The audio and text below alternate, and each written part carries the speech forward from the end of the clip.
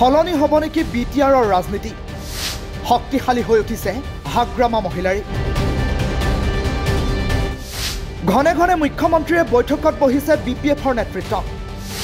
চাপ বাঢ়িছে U P P L শিবিৰত।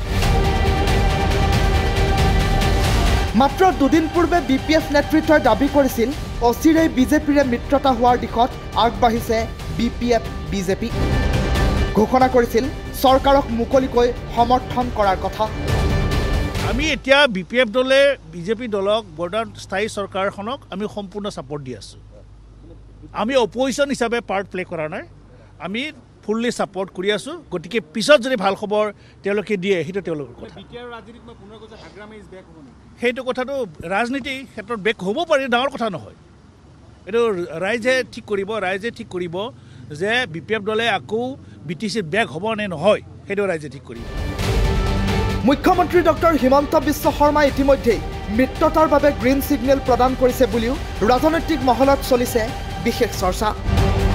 ইয়াৰ বাবে বান্ধি দিছে কেইবাটাও চৰ্ত। ৰাজ্যসভা নিৰ্বাচনৰ পূৰ্বেই নতুন ৰাজনৈতিক অংক দেখা যাব পাৰে বি টি আৰৰ ৰাজনীতিত।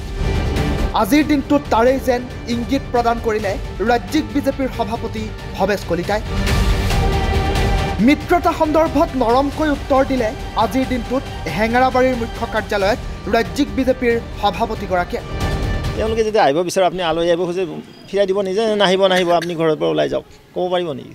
তেওঁলোকে যদি আহিব বিচাৰে আপুনি আলহী আহিব খোজে ফিৰাই দিব নিজে নাহিব নাহিব আপুনি ঘৰৰ পৰা ওলাই যাওক? ক'ব পাৰিব নেকি? এতিয়া স্বাভাৱিকতেই প্ৰশ্ন উত্থাপন হৈছে।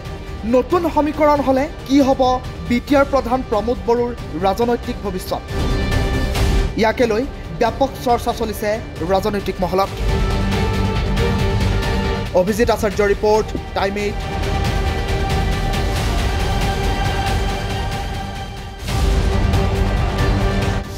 সলনি হ'ব নেকি বি টি আৰৰ ৰাজনীতি? শক্তিশালী হৈ উঠিছে হাগ্ৰামা মহিলাৰী। ঘনে ঘনে মুখ্যমন্ত্ৰীয়ে বৈঠকত বহিছে বি পি এফৰ নেতৃত্ব। চাপ বাঢ়িছে ইউ পি পি এল শিবিৰত। মাত্ৰ দুদিন পূৰ্বে বি পি এফ নেতৃত্বই দাবী কৰিছিল অচিৰেই বিজেপিৰে মিত্ৰতা হোৱাৰ দিশত আগবাঢ়িছে বি পি এফ বিজেপি। ঘোষণা কৰিছিল চৰকাৰক মুকলিকৈ সমৰ্থন কৰাৰ কথা। আমি এতিয়া বি পি এফ দলে বিজেপি দলক বৰ্তমান স্থায়ী চৰকাৰখনক আমি সম্পূৰ্ণ ছাপৰ্ট দি আছোঁ। আমি অপজিশ্যন হিচাপে পাৰ্ট প্লে' কৰা নাই। আমি ফুল্লি ছাপৰ্ট কৰি আছোঁ। গতিকে পিছত যদি ভাল খবৰ তেওঁলোকে দিয়ে সেইটো তেওঁলোকৰ কথা। সেইটো কথাটো ৰাজনীতি ক্ষেত্ৰত বেক হ'ব পাৰি ডাঙৰ কথা নহয়। এইটো ৰাইজে ঠিক কৰিব ৰাইজে ঠিক কৰিব যে বি পি এফ দলে আকৌ বি টি চিত বেক হ'ব নে নহয় সেইটো ৰাইজে ঠিক কৰিব। মুখ্যমন্ত্ৰী ডক্টৰ হিমন্ত বিশ্ব শৰ্মাই ইতিমধ্যেই মিত্ৰতাৰ বাবে গ্ৰীণ ছিগনেল প্ৰদান কৰিছে বুলিও ৰাজনৈতিক মহলত চলিছে। বিশেষ চৰ্চা। ইয়াৰ বাবে বান্ধি দিছে কেইবাটাও চৰ্ত।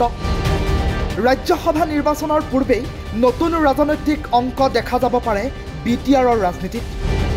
আজিৰ দিনটোত তাৰেই যেন ইংগিত প্ৰদান কৰিলে ৰাজ্যিক বিজেপিৰ সভাপতি ভৱেশ কলিতাই।